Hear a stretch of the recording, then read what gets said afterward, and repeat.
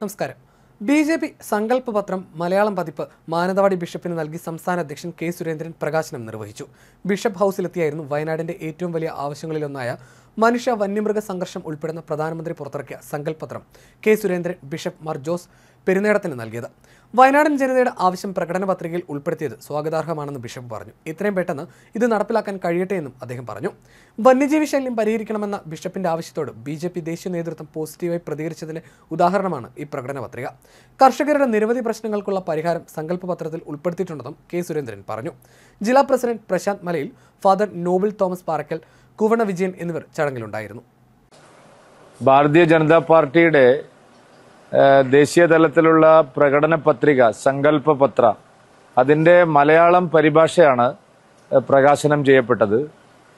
അത് മാനന്തവാടി പിതാവിന് നൽകി പ്രകാശനം ചെയ്യാനുണ്ടായ ഒരു പ്രധാന കാരണം അദ്ദേഹം തന്നെ കഴിഞ്ഞ തവണ ഞാൻ സ്ഥാനാർത്ഥിയായി ഇവിടെ വന്നതിന് ശേഷം പിതാവിനെ കാണാൻ വന്ന സന്ദർഭത്തിൽ ഈ വന്യജീവികളും മനുഷ്യരും തമ്മിലുള്ള ഈ വയനാട്ടൻ ജനത നേരിടുന്ന പ്രശ്നങ്ങൾ ദേശീയ ശ്രദ്ധയിൽ ബി ജെ പിയുടെ കേന്ദ്ര നേതൃത്വത്തിന്റെ ശ്രദ്ധയിൽ പ്രധാനമന്ത്രിയുടെ ശ്രദ്ധയിൽ കൊണ്ടുവരണമെന്നും നമ്മുടെ പ്രകടന പത്രികയിൽ അത് ഉൾപ്പെടുത്തുന്നത് നന്നായിരിക്കുമെന്നും അഭിപ്രായപ്പെടുകയുണ്ടായി.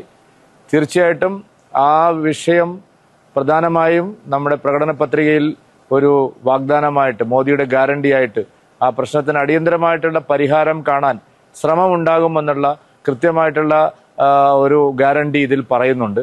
അതുപോലെ തന്നെ കർഷകരുമായി ബന്ധപ്പെട്ട നിരവധി വിഷയങ്ങൾ. കർഷകരുടെ ഉൽപ്പന്നങ്ങൾക്ക് വില ലഭിക്കാൻ കർഷകർക്ക് കൂടുതൽ സഹായങ്ങൾ പുതിയ സാങ്കേതിക വിദ്യ ഉപയോഗിക്കാനൊക്കെ തന്നെ ധാരാളം വിഷയങ്ങൾ പ്രകടന പത്രികയിൽ പറയുന്നുണ്ട്. അതുപോലെ തന്നെ ആരോഗ്യരംഗത്ത് ആയുഷ്മാൻ ഭാരത് എഴുപത് വയസ്സ് കഴിഞ്ഞ മുഴുവൻ ആളുകൾക്കും സൗജന്യമായി നൽകുന്നത് ഉൾപ്പെടെ മുദ്രാ വായ്പ ഇരുപത് ലക്ഷമായി ഈടില്ലാത്ത വായ്പ വർദ്ധിപ്പിച്ചത് ഉൾപ്പെടെ വലിയ മാറ്റങ്ങളാണ് കേരളത്തിലെ ജനങ്ങളെ സംബന്ധിച്ചിടത്തോളം ദേശീയ തലത്തിലെ ഭാരതീയ ജനതാ പാർട്ടിയുടെ പ്രകടന പത്രികയിൽ ഉണ്ടായിട്ടുള്ളത് കേരളത്തിൽ ജനങ്ങൾ അനുഭവിക്കുന്ന നിരവധിയായ പ്രശ്നങ്ങൾക്ക് മൂന്നാം മോദി സർക്കാരിൽ പരിഹാരം ഉണ്ടാകുമെന്നുള്ള കാര്യത്തിൽ യാതൊരു തർക്കവുമില്ല. അത്ര നല്ല ഒരു പ്രകടന പത്രികയാണ് ഒരു സങ്കല്പ പത്രയാണ് ബി ജെ പി കേന്ദ്രത്തിൽ പുറപ്പെടുവിച്ചിരിക്കുന്നത്. കോൺഗ്രസിനും സി പി എമ്മിനും ജനങ്ങളുടെ വിഷയങ്ങളോ പ്രാദേശിക പ്രശ്നങ്ങളോ പ്രകടന പത്രികയിൽ ഉൾപ്പെട്ടിട്ടില്ല. അവർ പറയുന്നത് പി എം എൽ ആക്ട് എടുത്തു കളയും സി എ പിൻവലിക്കും.